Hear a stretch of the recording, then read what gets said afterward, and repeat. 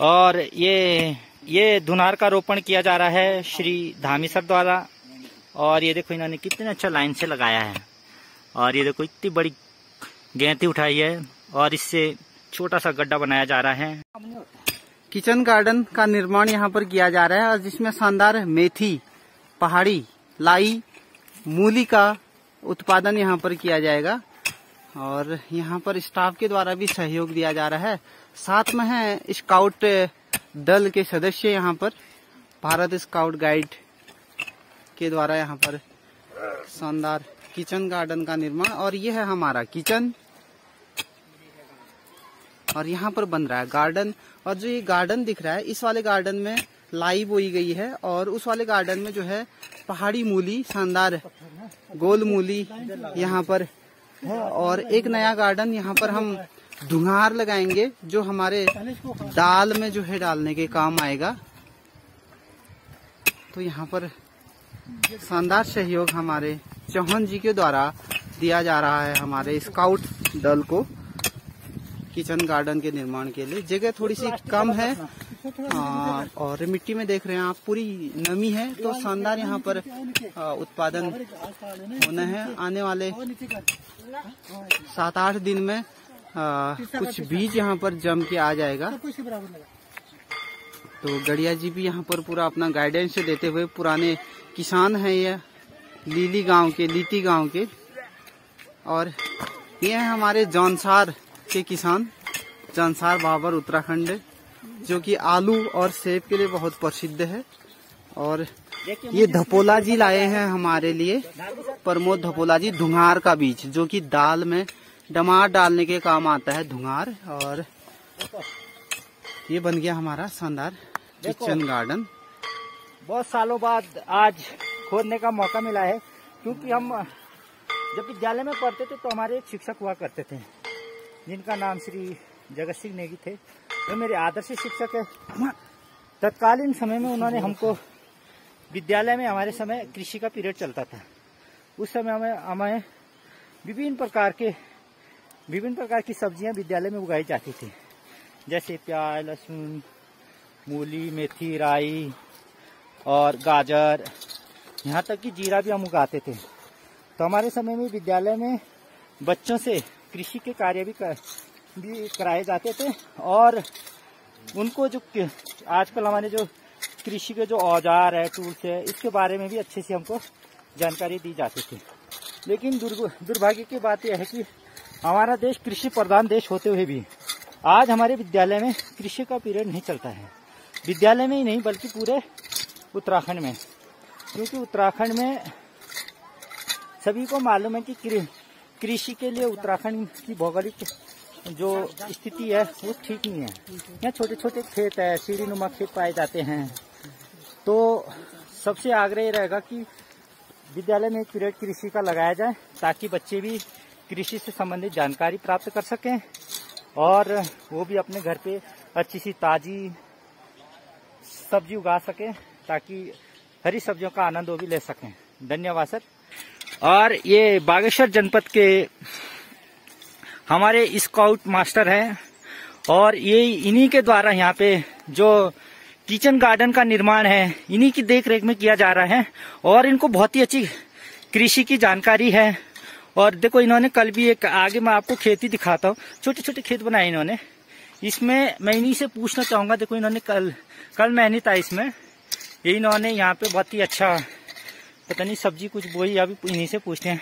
Sir जाना चाहता हूँ यहाँ पे क्या बोया है आपने? हमने उस वाले गार्डन में जो है पहाड़ी मूली जी। का बीज डाला है जो एक हफ़्ते में जो है उसके पत्ते पौध बन के ऊपर आ जाएँगे और इस वाले में पहाड़ी ला, लाई जो होती है बिल्कुल काली लाई और उसके पत्ते लगभग एक फीट से दो फीट के बीच पत्ते होंगे जो स्कूल में हम हरी सब्ज़ी बच्चों को मिड डे मील के माध्यम से खिलाएँगे। ये हमारी सोच है। देखते हैं अगर बंदर यहाँ पर आ, अपना आतंक नहीं करते हैं तो अच्छे से उत्पादन करके हम खिलाने की कोशिश करेंगे। आपका भी स्वागत है। आप भी आइए। जी ज़रूर। हरी लाई हम ये इन्होंने सही बात कही है क्योंकि यहाँ पे आपको देख रहे होंगे बड़े बड़े पेड़ है। ये इन पेड़ों में बंदर रोज आते हैं और वो अपना आतंक यहाँ पे फैलाते हैं क्योंकि हमारे यहाँ अमरूद का पेड़ है। अमरूद में सारे अमरूद खा जाते हैं।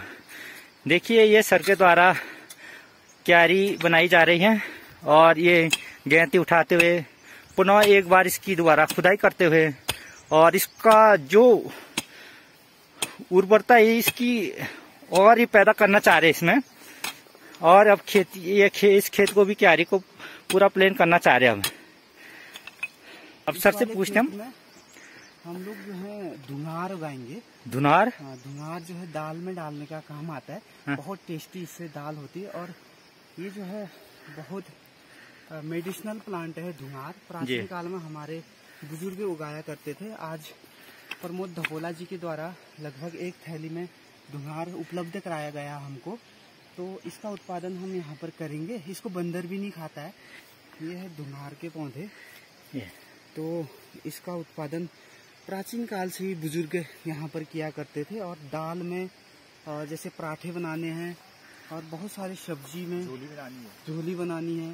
तो इसके काम आता था। तो प्रमोद धबोला जी के द्वारा उपलब्ध कराया गया है। इनका भी बहुत बहुत धन्यवाद। इस प्रकार के अन्य जो प्राचीन फ़सलें हैं हमारे पहाड़ की, इनके द्वारा घर में सुरक्षित रखी गई हैं। तो विद्यालय में ये उपलब्ध कराते जा रहे हैं निरंतर। तो बने रहिए नागदेव वीडियो के साथ। अगर सब्सक्राइब न किया हो तो ज़रूर सब्सक्राइब करें। अगले वाले हफ़्ते में या अगले महीने हम आपको दिखाएँगे कि कैसा हमारा किचन गार्डन में प्रोडक्शन हुआ है। और इसके प्रोटेक्शन के लिए हम लोग यहाँ पर एक तार बाढ़ या कांटे का बाढ़ जो है लगाने की कोशिश करेंगे। तो दोस्तों, आपको देखिए, आप नागदेव वीडियो के साथ आप बने रहिए। नागदेव वीडियो आपको भारत भारत की और उत्तराखंड के जो भौगोलिक स्थिति, यहाँ की नदियाँ है, यहाँ के ऊँचे ऊँचे पर्वत है, और यहाँ के जो सामाजिक रीति रिवाज है, जो यहाँ के तीज त्योहार है, उसके बारे में में नागदेव वीडियो में आपको बहुत अच्छी जानकारी मिलेगी। और इसके जो नागदेव वीडियो के जो मालिक है, ये जो सीईओ है ऑनर है श्री राजेंद्र सिंह धामी जी है और आज इनके द्वारा ये इतना पुण्य कार्य किया जा रहा है। तो आपसे गुजारिश है कि एक बार नागदेव वीडियो को सब्सक्राइब करें, लाइक करें, शेयर करें और अधिक से अधिक लोगों तक ज़्यादा से ज़्यादा शेयर करें और दोस्तों कमेंट भी ज़रूर करें आपको कैसे लगा। और ये ये धुनार का रोपण किया जा रहा है श्री धामी सर द्वारा और ये देखो इन्होंने कितने अच्छा लाइन से लगाया है। और ये देखो, इतनी बड़ी गेंती उठाई है और इससे छोटा सा गड्ढा बनाया जा रहा है। और ये विद्यालय में अब जो कड़ी बनेगी मिड डे मील में, उसमें धुनार भी डाला जाएगा। और आप भी आइए यहाँ की कड़ी चावल खाने। बहुत अच्छा कड़ी चावल बनता है। पूरा पहाड़ी फ्लेयर में।